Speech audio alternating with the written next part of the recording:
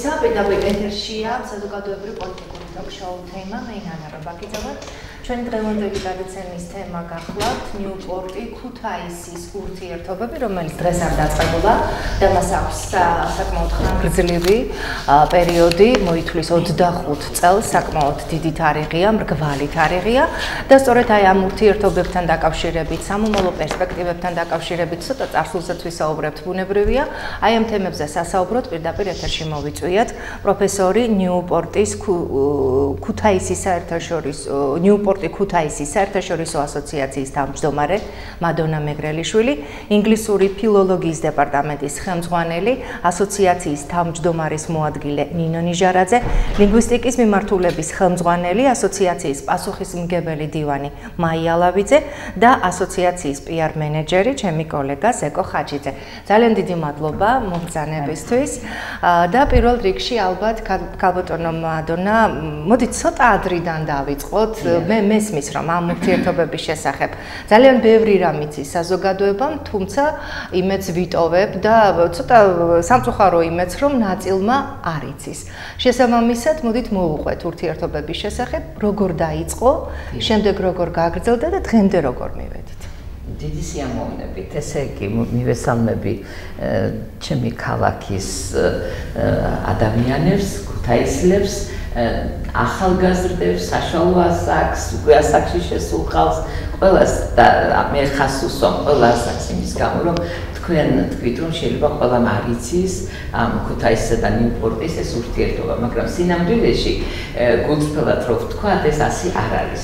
მე მგონი ქუთაისში არ არსებობს ადამიანი, რომ არ იცოდეს იმ ურთიერთობების შესახებ, რაც ჩვენსა და ნიუპორტს შორის არის. ეს ჯერ კიდევ დაიწყო ადრეულ პერიოდში 99 წლის აგვისტოში და იქედან მოყოლებული იმდენი რამ გაკეთდა ამ ორი ქალაქის ცხოვრებაში, რომ არა მარტო ქუთაისმა, რომელიც იმერეთის თბილი და კაცთმოყარე ქალაქია, არამედ დიდი ბრიტანეთის ქალაქმაც კი ნიუპორტმაც ძალიან გაითავისა ეს მეგობრული ურთიერთობები და ნიუპორტშიც რო კითხო ადამიანებს რომ თუ იციან რაიმე ქუთაისის შესახებ ან და რომ ახსენ რომ ქართველი საკმარისია გაიგონონ სიტყვა ქართველი და იწყებენ იმ წუთში ქუთაისის ლაპარაკით. აი ახლა ჩვენი სამინისტროს დელეგაცია იყო ჩასული კარდიფში და როცა გაიგეს სხვადასხვა ქვეყნებიდან იყვნენ დელეგაციები და იკითხეს თურმე პირდაპირ რომ იყო თუ არა იქ საქართველოსდან დელეგაცია. და როცა გაიგეს რომ იყვნენ ქართველები ხმამაღლა განაცხადეს ამ მეგობრობის შესახებ ახსენეს ქუთაისი და ნიუპორტი და წაიყვანეს და აჩვენეს სპეციალურად ადგილი სადაც რაგბის წრსნა მიდიოდა საქართველოს რაგბის წრსნა ამ ზაფხულსა და შემოდგომაზე და იქ როგორ იყო გამოფენილი ქართული დროშები. ну ეს უბრალოდ პატარა გადახვევის სახით გავაკეთე მე. მე მინდა ვილაპარაკო ეხლა რომ ჩვენ გვაქვს ძალიან დიდი ზე ზეიმი. დიდი ზეიმი, რომელიც მე ვფიქრობ, რომ ნამდვილად ღირსია ჩვენი ქალაქი, რომ ეს ქუთაისისა და ნიუპორტის ეს მეგობრობა იზეიმოს, იმიტომ რომ 1990 წლიდან არ დარჩენილა სფერო ქუთაისში, რომ ნიუპორტს დიდი ხარდაჭერა არ გაეკეთებინათ, აი თუდაც მცირე ბიზნესის განვითარების სფერო, რომელიც 94 წელს ჩამოყალიბდა ქუთაისში, ყოფილ პროსაბჭოურ სივრცეში ეს იყო მეორე ქალაქი, ერთადერთი მეორე ქალაქი იყო ნიუპორტის და ჩვენი მეგობრობის წყალობით, სადაც შეიქმნა ბიზნეს ცენტრი, რომელიც მაშინ ევრო საბჭომ დააფინანსა მილიონ ნახევარი დოლარი დაჯდა ეს დაფინანსება.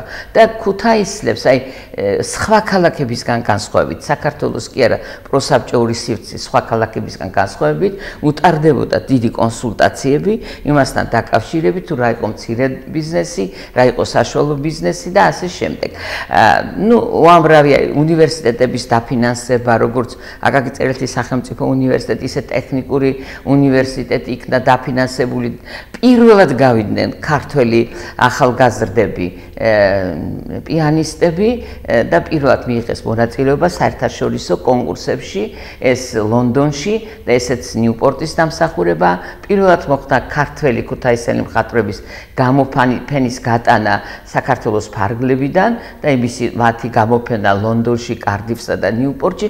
და უამრავი რამ მე ვფიქრობ რომ ეს ქუთაისისთვის ძალიან ცნობილია ძალიან ყოველას ეს ყველაფერი ძალიან კარგსოვს ეს უკვე უფრო ძველი თაობის ამბებია და მე ძალიან ვამაყობ იმით რომ საქართველოში ერთადერთი არის ჩვენი უნივერსიტეტი სადაც სტუდენტს აქვს საშუალება ბაკალავრიატის დამთავრების შემდეგ მაგისტრატურაში ისწავლოს ნიუპორტის უნივერსიტეტში. თქვენ იცით რომ ყველა ქვეყანას ერთდაერად არაფინანსებს სწავლებას და დიდ ბრიტანეთში საერთოდ განათლების მიღება ყველაზე ძვირია. სოფლიო მასშტაბით აი ამ შემთხვევაში ჩვენ ახალგაზრდებს ყოველწლიურად ღებულობენ იქ და უფასოდ აძლევენ სხვადასხვა პროფესიას და ეს ხალხი ძალიან წარმატებულად მუშაობს სხვადასხვა ფეროში სამწუხარო ფაქტია რომ ქუთაისში მხოლოდ 1-2 თუ ჩამოვიდა საბოლოოდ და დამკვიდრდა და მუშაობს ქუთაისში ძირითადად არიან მაინც უფრო დედაქალაქში თბილისში.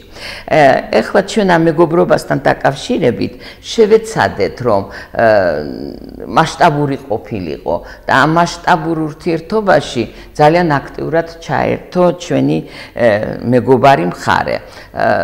იქ ამ პირველ დაფუძნებას პირველი მერი, რომელმაც ხელი მოაწერა ქუთაისსა და შორის ნიუპორტ შორის ურთიერთობას, იყო როზმარი ბატლერი, რომელიც ახლა უელსის პარლამენტის თავმჯდომარეა და მინდა ვთქვა, რომ 95 წელში ჩვენ მივიღეთ პარიში სოფლიო ანსამბლეის ხდომაზე ძალიან მაღალი ტიტული, გავხდით მოდელი ასოციაციათა შორის მეგობრების, მაგრამ ეს მოდელი აბსოლუტურად აბსოლუტურად აი ბოლო წლებში როზმარის ქალბატ დამა როზმარის წყალობით მთლიანად შეიცვალა. შეიცვალა იმით, რომ ეს ორი ქალაქის მეგობრობა გახდა ორი ქვეყნის მეგობრობა, რადგან როზმარი ჩვენი ბრიტანეთის ელჩის ქალბატონი ალექსანდრა ხოლჰოლის წყალობით, რომელმაც გამოიჩინა დიდი ინიციატივა და დაამეგობრა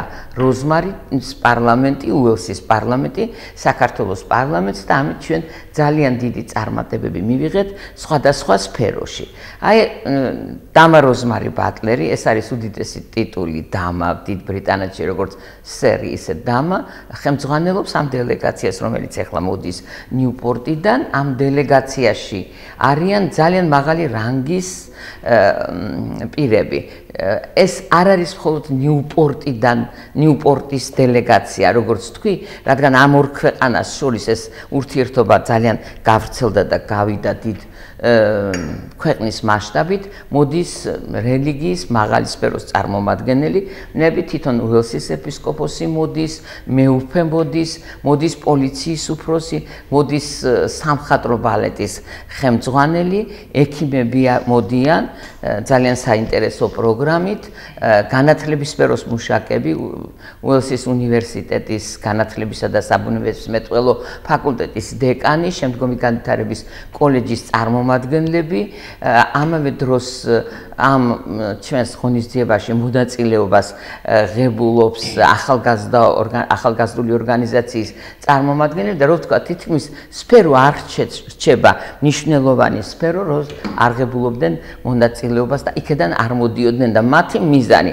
მართალი არის ზეიმი მაგრამ ძირითადად ორი დღის განმავლობაში ფოკუს ჯგუფების მიხედვით მიდის მუშაობა როგორც უნივერსიტეტთან აკაკწერის სახელმწიფო გაზიარების მიზნით და ამავე დროს განსაკუთრებით ამ ბოლო დროს ევროპაში ძალიან წამოიწია ინკლუზიური და ძლიერ ახსაზრდელთა აღზრდის და სწავლების პრობლემა და ამ მიზნით მიდიან სკოლებში. ჩართული არის იბერიის კოლეჯი იმიტომ რომ სხვადასხვა სფერო აინტერესებთ ექიმებს განსაკუთრებით აინტერესებს როგორ ემსახურებიან საავადმყოფოებს საავადმყოფოები, სახელმწიფო საავადმყოფოები მოსახლეობას. მაგრამ რაღაც აღმოჩნდა, რომ ჩვენი სტრუქტურა და იმათი სტრუქტურა აბსოლუტურად განსხვავებულია. ნუ როცა ჩამოვლენ, ალბათ ჩვენ ისეთი საინტერესო ექიმები ხვდებიან, რომ აუხსნიან კიდეც, რომ აბსოლუტურად სხვა სისტემა მუშაობს იქ და სხვა სისტემა მუშაობს აქ. რაც შეეხება მოდის თვითონ ამ ნიუპორტ კუთაისის ასოციაციის თავმჯდომარე სონია ფიშერი, რომელიც კუთაის ჩუქნის მემორიალურ დაფას, სადაც იქნება წარმოდგენილი ჩვენი 25 წლის იუბილეის აღნიშნული ტექსტი, რომელიც ძალიან დაინტერესებულია ქალთა უფლებებით და განსაკუთრებით აინტერესებს ცხოველთა ცხოველების ბედი.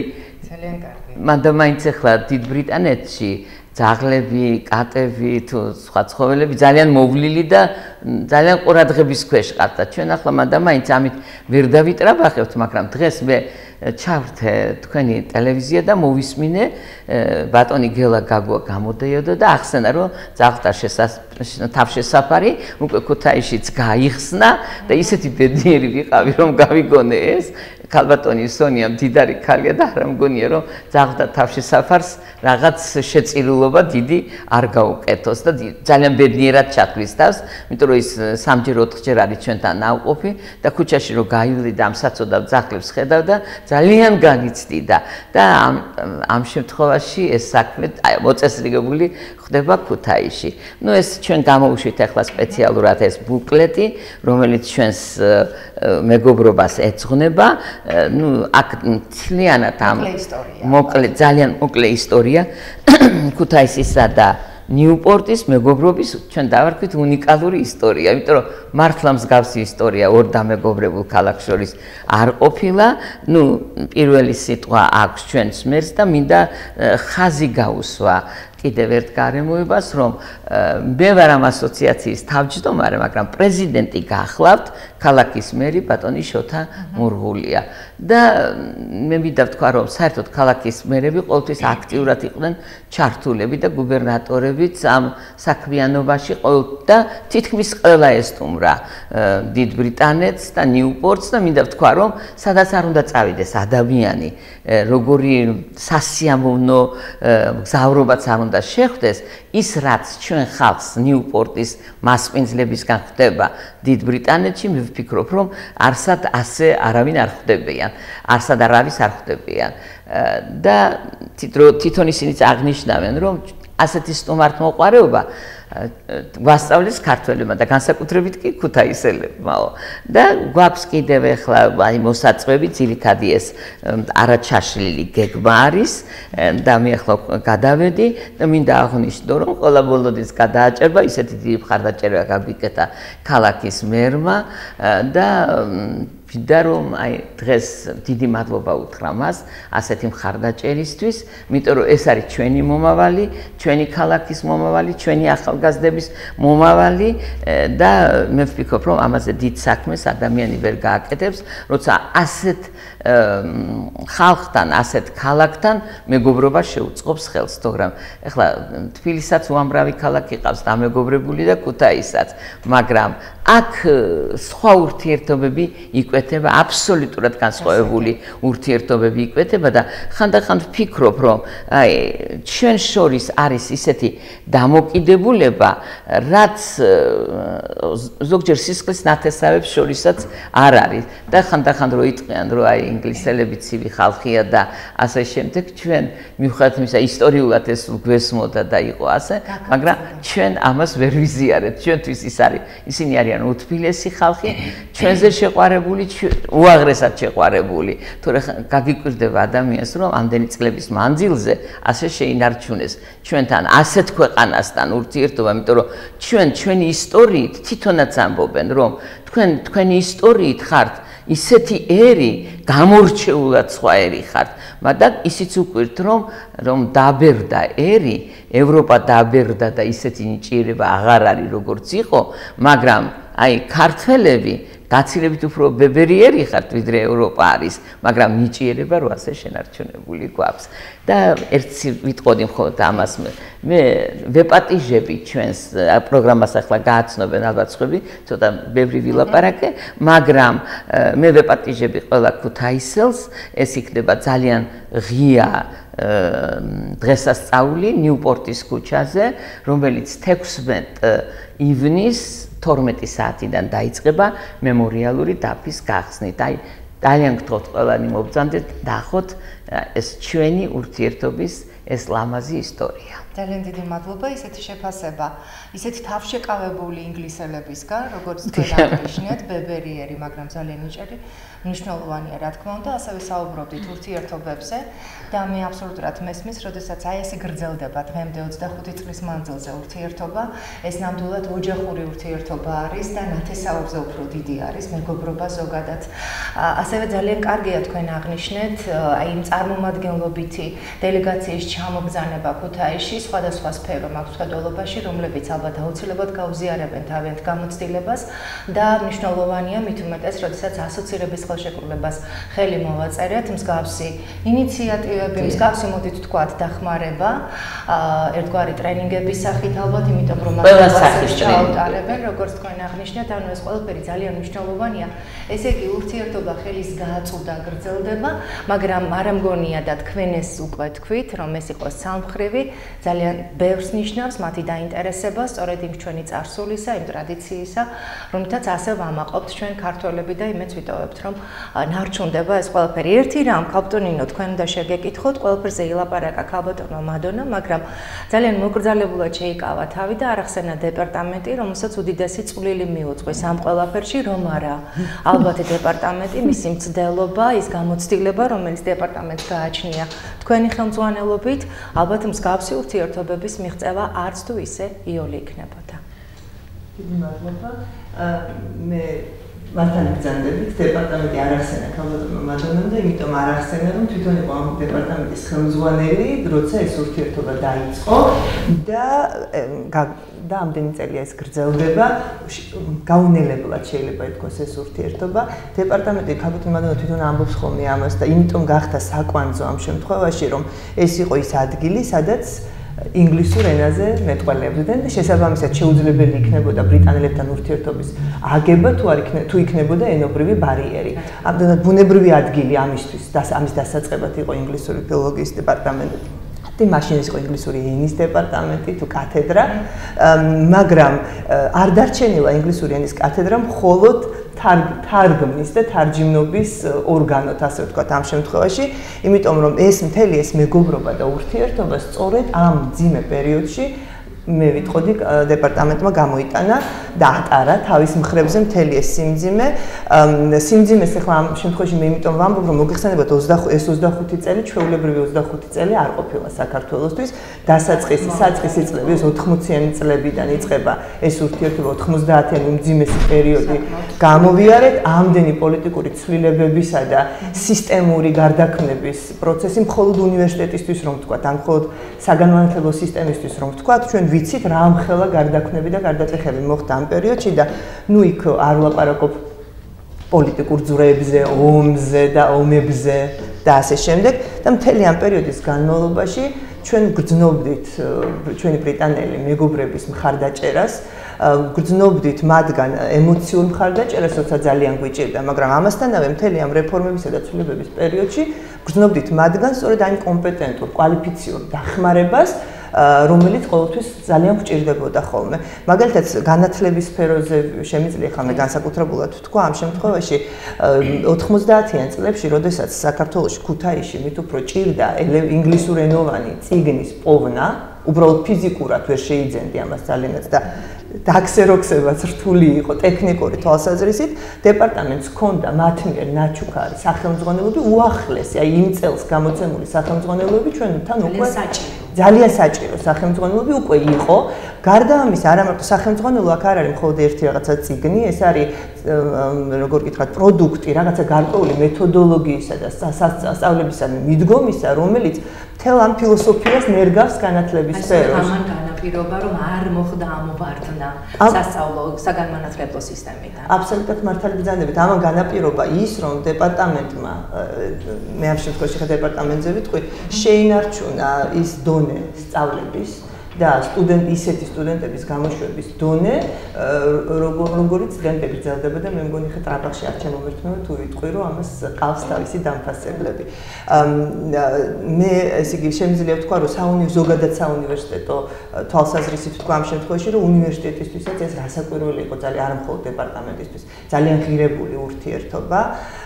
უნივერსიტეტის ქალბატონმა მადონამ უკვე ახსენა რომ ჩვენ უნივერსიტეტს ყავს სტუდენტები რომლებმაც იქ დაამთავრა დაამთავრეს, გაიარეს სამაგისტრო კურსი ქუთაისში ჩვენთან დამთავრებული საბაკალავრო პროგრამის შემდეგ იქ გაიარეს სამაგისტრო კურსი და ნუ მართალია ბევრი მათგანი არის. ზოგი დედაქალაქში, მაგრამ აი საქართველოსთვის საქართველოს ახმარს იქ შეძენილ კვალიფიკაციას ხო შეიძლება საინტერესოა ის რომ ნიუპორტელები ყოველთვის ზუსტად ხედავდნენ იმ სფეროებს ჩემი აზრით რომელიც საქართველოს ჭირდებოდა მაგალითად ერთ-ერთი პირველი ვინც წავიდა იყო ენერგეტიკის ელექტროენერგეტიკის სფეროდან რომელიც ეხლა ბოლო წლებში აღმოჩნდა რომ არის თორმე პრიორიტეტული მიმართულება საქართველოსთვის მაგრამ ეს ჯერ კიდევ მაშინ მათ შეარჩიეს სწორედ ეს მიმართულება. იქ იყო კომპიუტერული ინჟინერიის მიმართულებით და ასე შემდეგ. ეს არ ყოფილა ფილოლოგები ან ენის სპეციალისტები ამ შემთხვევაში მართალია ჩვენ ბევრს მუშაობთ, მაგრამ ჩვენი სტუდენტები ნაკლებად ხდებოდნენ ამაში, იმიტომ რომ ისინი არჩევენ არა მათთვის სასურველ ადამიანებს, ან მათთვის საყვარელი ადამიანების რაღაცა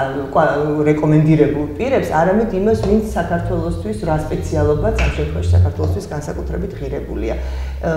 ნიუპორტის უნივერსიტეტმა, რომელიც თუ ძალიან არ გამიგრძელდა სიტყვა, ნიუპორტის უნივერსიტეტმა მაშინ ეს ნიუპორტის უნივერსიტეტი ეხლა განიცადა რეორგანიზაცია და შეუერთდა გამსხვილდა შეიძლება ასე ვთქვა და გახდა უკვე სამხრეთ უელსის უნივერსიტეტის ნაწილი.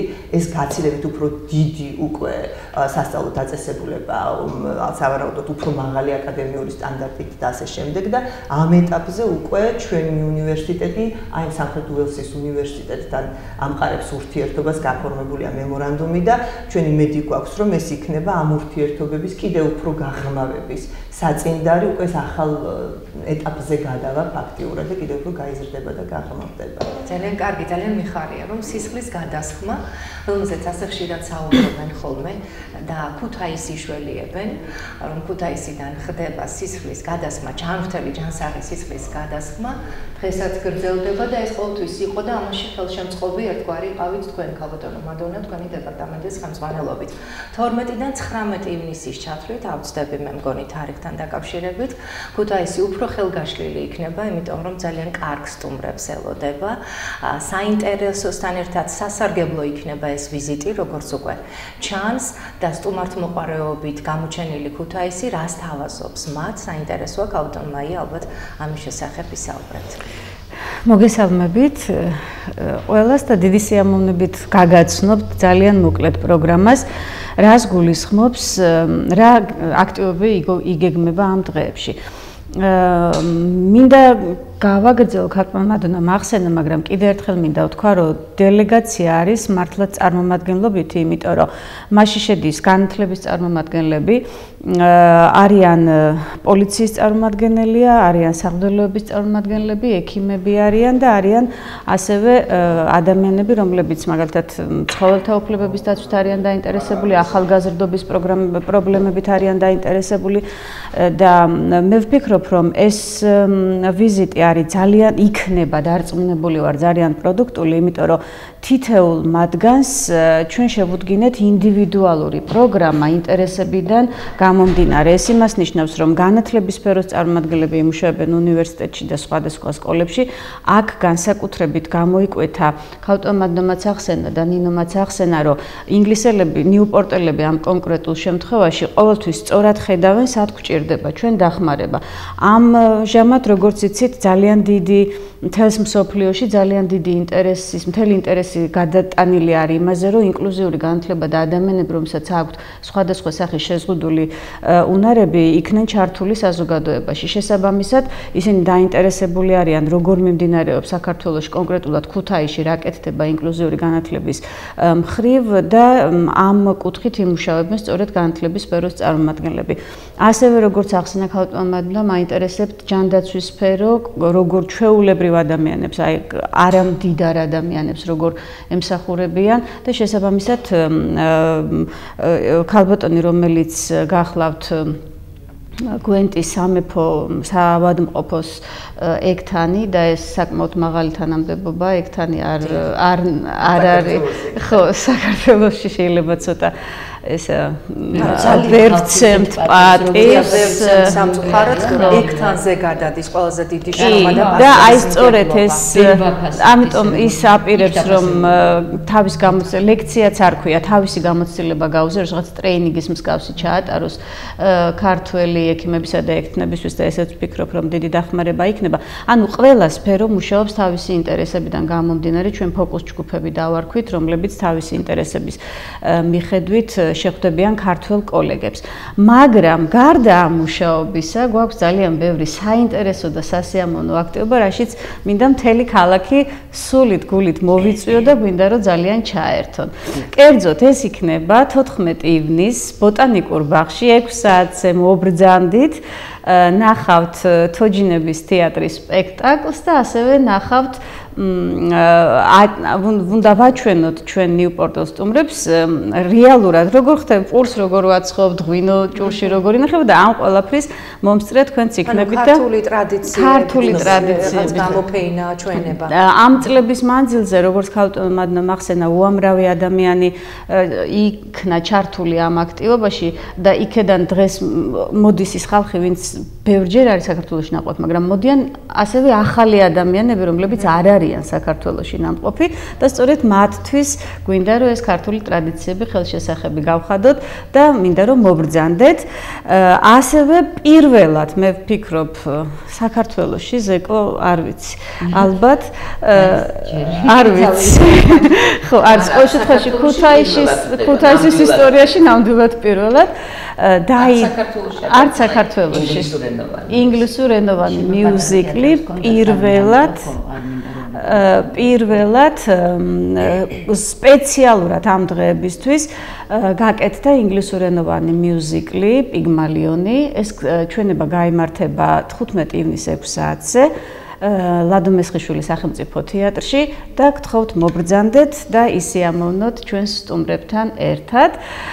და ბოლოს 16 ივნისი ძალიან მნიშვნელოვანი დღეა ჩვენთვის, იმიტომ რომ ამ დღეს ნიუპორტის ქუჩაზე ახსენა უკვე ქალტომადნა მესეც, რომ ნიუპორტის ქუჩაზე გაიხსნება ხელ მემორანდუმი დაფა, რომელიც მემორიალური დაფა, რომელიც 2000 წელს გაიხსენით ხო ფაქტობრივად 2000 დიახ ეს ხელა 2000 წელს რო ნიუპორტის დიახ და ამ მემორიალური დაფის განახლება ხდება გარდა ამისა ძალიან საინტერესო აქტივობები იგეგმება და ძალიან გვინდა რომ მოხვიდეთ და ჩვენთან ერთად იზეიმოთ ასე ვთქვათ ეს დღე და ამავე დღეს საღამოს 6 საათზე ქუთაისის სიმღერისა და ცეკვის სახელმწიფო ანსამბლი არაჩვეულებრივ კონცერტს გამართავს და დარწმუნებული ვარ რომ ყველა იცით ამ ანსამბლის შესახებ ასე ვთქვათ მისი პოტენციალი და შესაძლებლობა და აქაც ძალიან გვინდა რომ მოხვიდეთ და ჩვენთან ერთად და ჩვენ სტუმრებთან ერთად ისიამოვნოთ დარწმუნებული ვარ რომ ჩვენი სტუმრების გაცნობაც ყველას ექნება ამის საშუალება ესეც იქნება დიდი სტიმული, ასე ვთქვათ, ქუთაისელი ხალხისთვის, რადგან ვფიქრობ, რომ ეს ურთიერთობა, რომელსაც ძალიან დიდი ბევრი დადებითი შედეგი აქვს, ერთ-ერთი ის არის, რომ ნიუპორტელი და ქუთაისელი ხალხი გახდა ერთმანეთისთვის ძალიან ახლობელი და ვთვლი, რომ ეს ერთ-ერთი მიღწევა ამ ურთიერთობის მთელი ამ წლების მანძილზე. ასე რომ გელოდებით მობძანდით. ძალიან კარგი პროგრამის შესახებ. ფაქტობრივად სრულად ისაუბრეთ. აა უბრალოდ რამოდენიმე ჯერ გაჟღერდა პოლიციელი, რომელიც ჩამოდის და აი რაღაც პირადი ინტერესი გამიჩნდა იგივე სფეროს წარმომადგენლებს, აი ამ სფეროს წარმომადგენლებს შეხვდება და რაღაც გაზიარება მოხდება ამოცნების აკაც. კი, კი. აკაც ის ეს გახლავთ გვენტის საგრაფოს პოლიციის უფროსი გლინ ფენკვისტი რომელიც შეხვდება იმერეთის სამხარეო პოლიციას, ქალაქის სამხარეო პოლიციას და ათვალიერებს მათ სამუშაო ოფისებს, გაეცნობა მათ მუშაობის სპეციფიკას და გაუზიარებს თავის გამოცდილებას ქუთაისელ პოლიციელებს და ესეც ვფიქრობ, რომ ძალიან ძალიან კარგია. საინტერესოა რომ ისინი კომუნიკაბელურები ყოფილან და მე მეციტოვებ რომ დიახ მე მეციტოვებ რომ აი ეს გადმოეცემა ჩვენს პოლიციასაც რეკლამაზე გვიწევს გასვლა და აი ესევე საინტერესო თემებით და სიახლეებით ჩვენ პირდაპირ ეთერში რამდენიმე წუთში დაბრუნდებით დარჩით ჩვენთან ერთად ჩვენ კვლავ პირდაპირ ეთერში ვართ ნიუპორტი ქუთაისის ურთიერთობებზე გვაქვს საუბარი და რა თქმა უნდა 12-დან 19 ივნისის ჩათვლით დღეებზე რომელიც ნიუპორტელთა საპატივცემულოდ იმართება და საინტერესო იქნება ძალიან ყველა ერთად შეხვდეთ ამ ღირსშესანიშნავ სტუმრებს და საკადრისი დახვედრა გაუკეთოთ. ჩვენ დღეს ვსაუბრობდით სფეროების მიხედვით სტუმრების ჩამოსვლას და გაზიარებას გამოცდილ ცდილების, აი კონკრეტულად ისაუბრებ, ისაუბრეთ ყველაფრის შესახებ და თითქმის ყველა სფეროს წარმომადგენელია, რატომღაც იქნებ მე გამორჩა, მაგრამ ვერანაირად ვერ დავიჭირე, რომ ჩამოდიოდეს ჟურნალისტი ან PR მენეჯერი. ხომ არ აპირებენ ისინი ჩვენგან მაგალითის გადაღებას, მით უმეტეს საუკეთესო მაგალითი პირდაპირ ეთერში გვიზის, კალუტონი ზეკო ხაჩიძე და რამდენად მნიშვნელოვანია ზეკო, აი მსგავსი ურთიერთობები, როგორც ჩვენთვის, თითოეული ადამიანისთვის, მომავალი თაობისთვის, რომლებზეც ქალბატონმა მადონამ საკმაოდ სერიოზული აქცენტი გააკეთა და ქალბატონმა ნინომ და ზოგადად რას ნიშნავს ეს ურთიერთობები?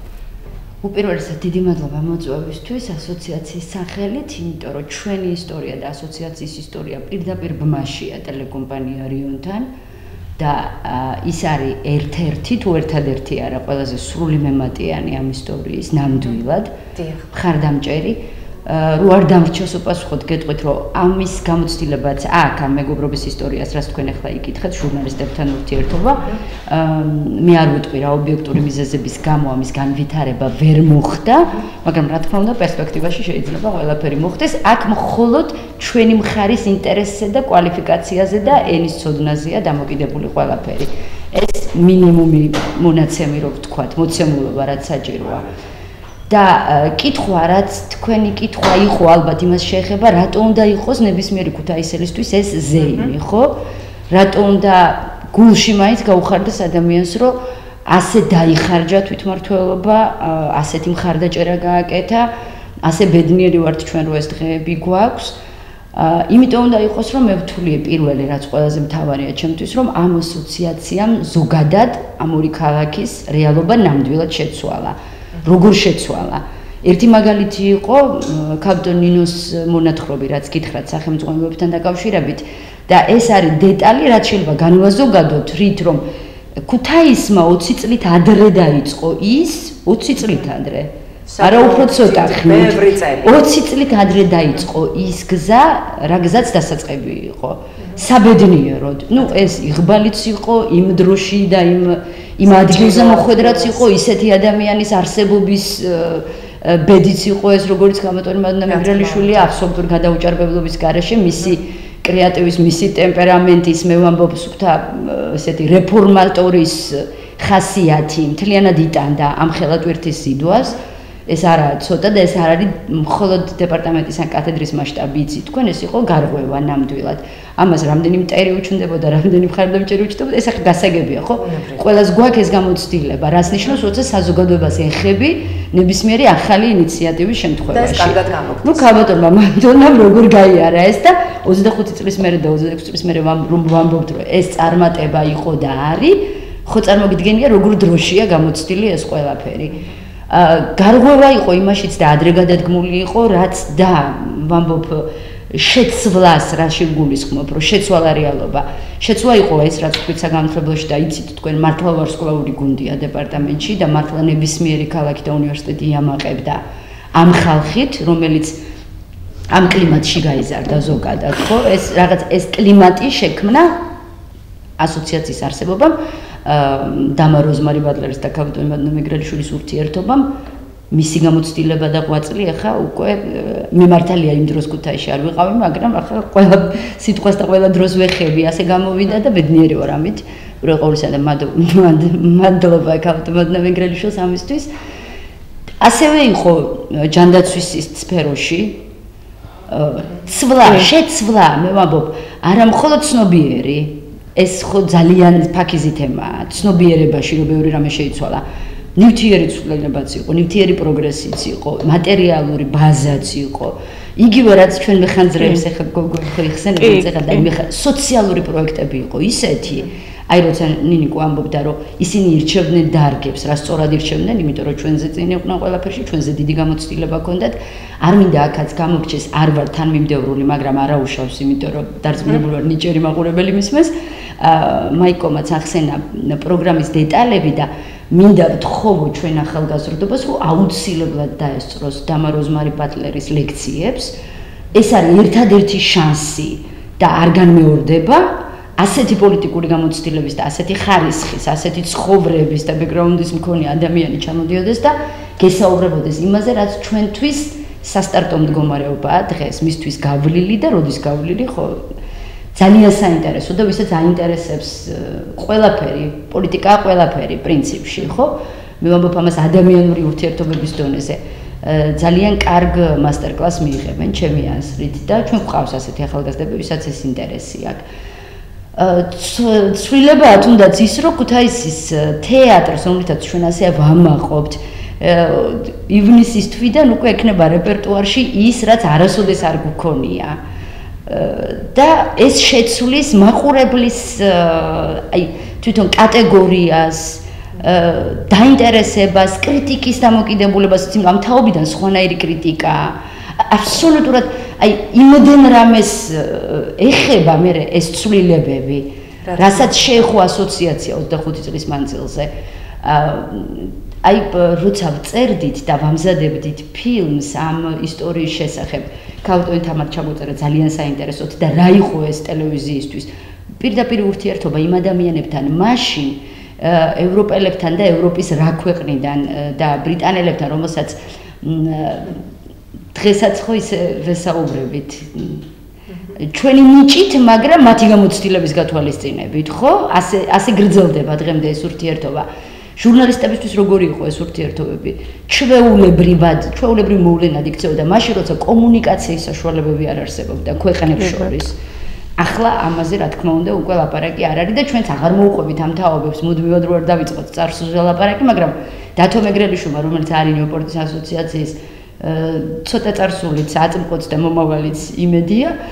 დათომ თქვა ძალიან კარგად ამ ფილმში ჩაწერის დროს რომ ცირა ხო არის როცა ხელისუფლებებს შორის ხელისუფლებას შორის რაღაც ჯგუფებს შორის ეს ურთიერთობა იწყება და ამ სფეროზე ტრიალებს. თუ ტრიალებს ეს კიდე იდეალური შემთხვევაა წლების მანძილზე მაგრამ ნუ რაღაც მიკროდროში ხო ტრიალებს. და არა აი ნიუპორტი ქუთაისის ასოციაცია მიცა პრეცედენტი მარტო ქუთაის რომ შეიძლება ქალაქებს შორის ხელისუფლებებს შორის რაღაც ორ ჯგუფს შორის სპეციფიკურ ჯგუფს შორის მეგობრობა იქცეს ადამიანების მეგობრობად. ამან და ქუთაისი რომელიც ასეთი შემოქმედებითი ქალაქია იცი და როგორი ჩვენ ყოველთვის ვამბობთ რომ ართ კულტურის ცენტრი და ასეთი ისტორიის ზუსტად კულტურული გარღვევა მოახდინა იმ წლებში როცა ტელეფონით კომუნიკაცია ალბათ ძნელი იყო არა? ავტომატურად ტელეფონითაც აღარ აღარ არის კომპიუტერულ ტექნოლოგიებზე ლაპარაკი და მეილზე და ასე შემდეგ და მობილური შუქი არ ხო შუქი არ იყო ქვეყანაში. მაშინ ხდებოდა ეს. ესე იგი როცა ბატონმა როზმარი ბატლერმა და ისეთი პიკანტური ისტორიები ძალიან მომწონს რომელსაც ვეხები და მინდა რომ სულ ახსოვდეს მაყურებას ისე რომ ჩახჩება მეხსიერებაში და ბატონ თემურ შაშიაშვილმა გააფორმეს ხელშეკრულება. ეს იყო პირველი საერთაშორისო ოფიციალური დოკუმენტი ქუთაისისთვის.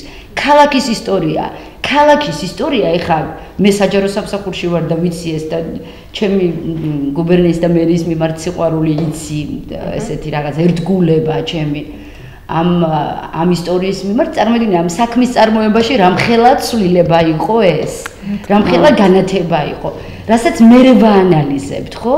ბევრად უფრო მე კიდე უფრო მეტი რამე გაანალიზდება რაც ახლა დარწმუნებული ვარ ჩება მე გამაოცა.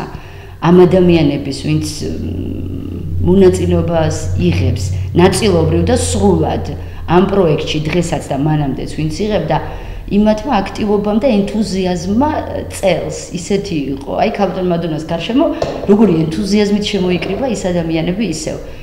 რა თქმა უნდა ამ ყველაფრის ეპიცენტრი იყო არ ვამბობ აბსოლუტურად ფორმალობისთვის შემეძლო საერთოდ არ მეთქვა მაგრამ აბსოლუტურად გულწრფელი ვარ და მინდა რომ მადლობა ადამიანმა უნდა მიიღოს ყოველთვის როცა სამადლობელია შოთა მურღულიას ხო უზარმაზარი მადლობა სვიად ჯავახიას უზარმაზარი მადლობა დათო მეგრანიშვილს ეკუთვნოდა მაგრამ მაინც დიდი მადლობა იმიტომ რომ ის პარალელურად იცით რომ მისი სტატუსი კიდე სხვა კომპეტენცია მიბმულია და ამაში ძალიან საჭიროა.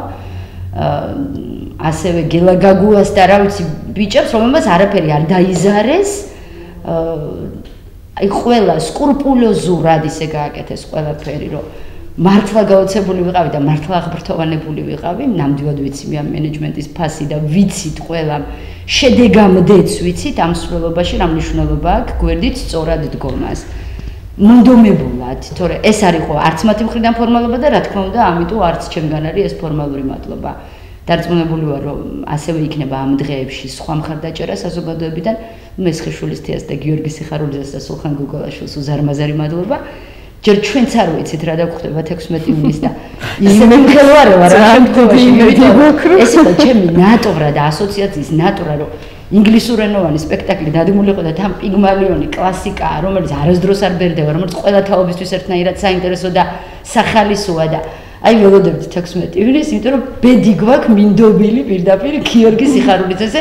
მე ვფიქრობ რომ ნამდვილად კარგ რეჟისორზე და ნამდვილად კარგ ადამიანზე რომელსაც რომელსაც ერთი წამით არ უფიქრია არ უჭოჭმანია. ექნა გადაედგა ეს ნაბიჯი თუ არ გადაედგა იმიტომ რომ კიდევ ამბობ ძნელია ყოველთვის პირველი ახლის თქმა და ამას კრიტიკოსიც უამრავი ეყოლება არაპროფესიულად კრიტიკოსით პროფესიულად კრიტიკოსით და მოკლედ მე მგონი რომ ჩვენი ამ მეგობრობის მნიშვნელობა ყველაფერს ამას აჯობებს მე მინდა რომ ჟურნალისტებისთვის განსაკუთრებით ეს მე ჩვენ ცალკე გვექნება ურთიერთობა ამ საკითხებზე დეტალური სწორედ ის გავიმეორო, რასაც ეს ასოციაცია ყოველთვის თხოვს ჟურნალისტებს, რომ გამოიყენეთ ჩვენი მეგობრობა კარგად.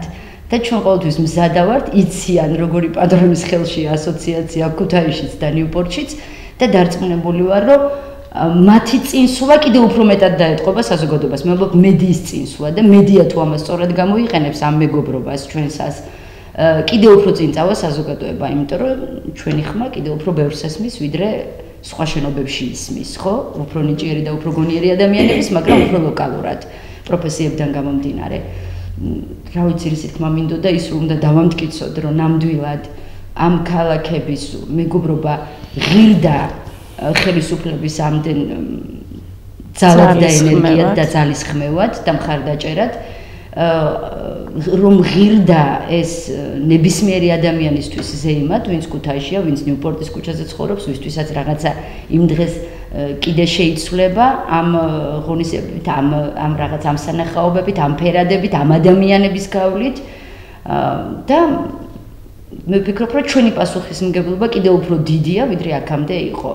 ეს არის მეგობრ ქუთაისმა გააკეთა გაცილებით ადრე ევროპული არჩევანი, ოღონდ რეალურად ევროპული არჩევანი, რომელიც არ დარჩა სიტყვად, ნამდვილად და 25 წელი ურთიერთობის შენარჩუნება, ხო გესმით, უამრავი მაგალითის მოტანა შეიძლება ამ მასშტაბით რართულია, როცა პატარა მასშტაბითაც ძნელია, ასე მყარად დაიჭირო ურთიერთობა, ასე ეფექტური, ასე შედეგიანი და ამდენი რამის ჩამ როგორ? და ასე შორმანძილზე და ასე ხო რა თქმა უნდა შორმანძილზე და როგორ ადამიანებთან.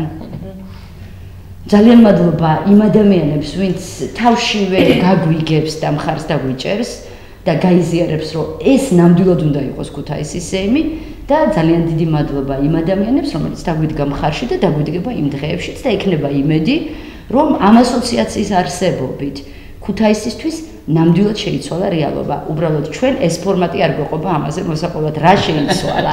უნდა მენდონ მენტალურად ნამდვილად შეიცვალა.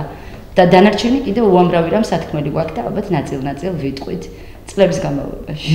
რა თქმა უნდა, მე ძალიან ვიჯავრე, როდესაც გადაცემა დავიწყეთ და არ იყო იმის საშუალება, რომ ის კადრები, რომელიც გააქვთ თქვენ, როგორც ფოტოსურათები, ასევე ვიდეო მასალები, გვეჩვენებინა ჩვენი ტელემაყურებლებისთვის და მათ ვიზუალურად ენახათ თუ რა ხდებოდა სინამდვილეში, იმიტომ რომ თვალი რასაც ხედავს რეალურად, უფრო დასამახსოვრებელია, მაგრამ ზეკორმსაც ყვებოდა.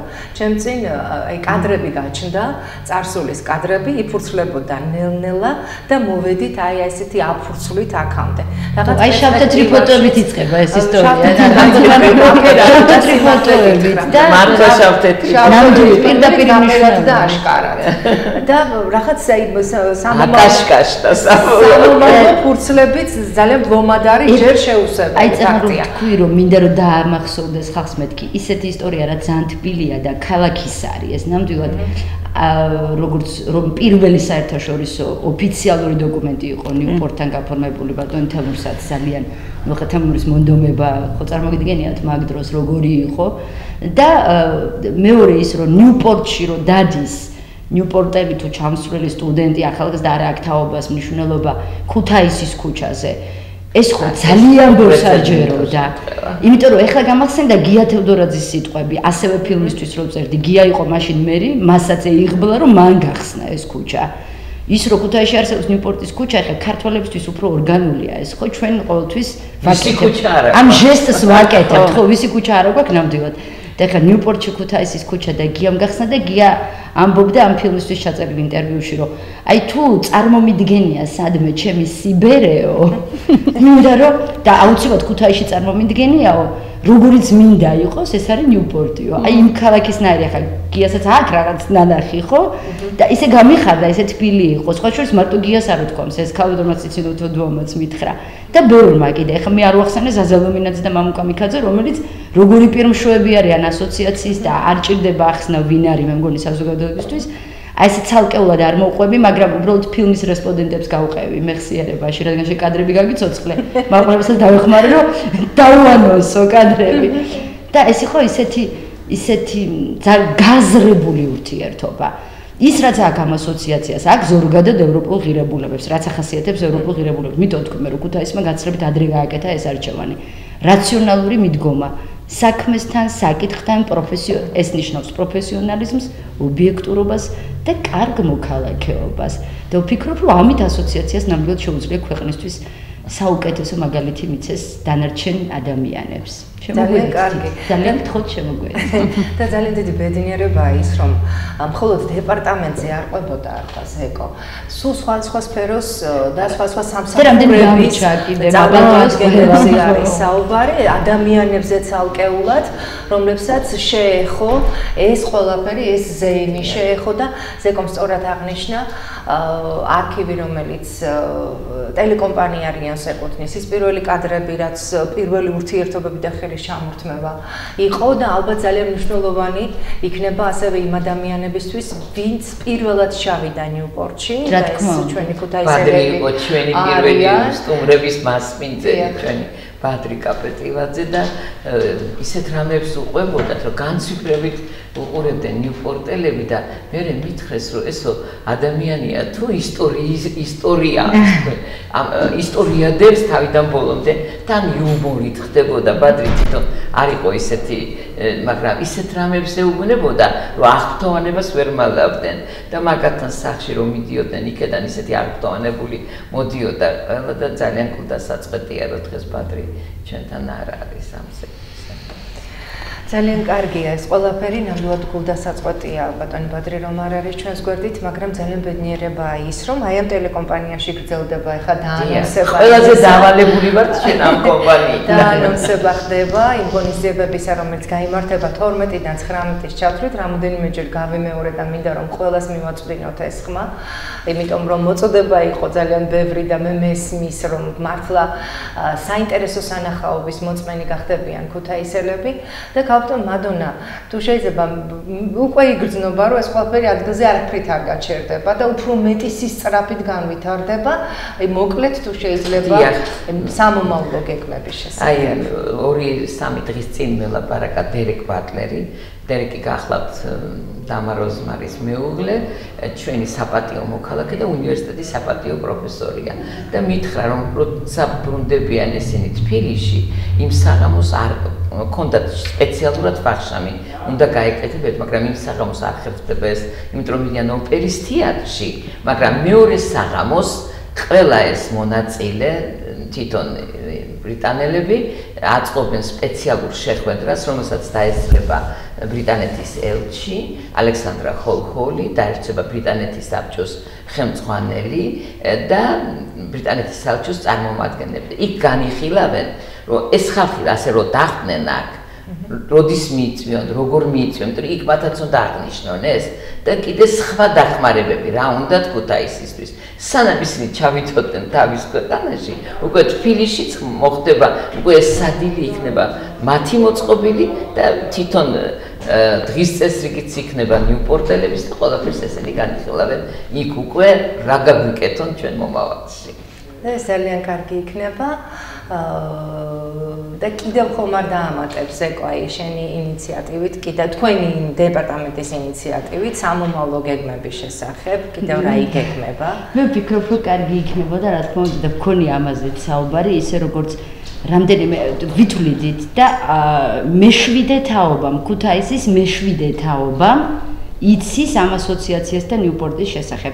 ვითვლიდით როგორც ცენტრში მე რამდენი თაობა დადის დაწყებული იმ პირველი თაობიდან რომელიც წავიდა ნიუპორტში და ეხლა ვისაც აქ ცენტრში ურთიერთობა და იცის რომ ასოციაციის კოლგის ქვეშ არსებობს ინგლისური ენის ცენტრი ასევე ძალიან ხარისხიანი.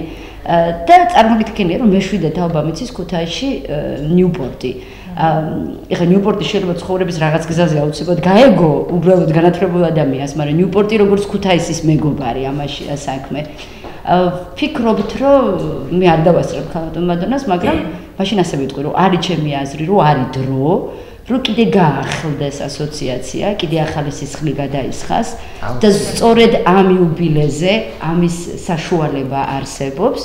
და ამის რესურსი აქ ქუთაის ამ ტრადიციის გაგრძელების გონიერება ეყოფა ასოციაციის წევრებს და მართლა თან მინდა აღვნიშნო რომ თუ ქუთაისში ვინმეს რაღაც პატარა ღვაწლი მაინც აქვს ქალაქისთვის ზოგადად ან საკუთარი პროფესიისთვის ნუ გულისხმობ რა პროფესიისთვის ღვაწლი ნიშნავს შენი ქალაქისთვის ღვაწლს რა თქმა უნდა.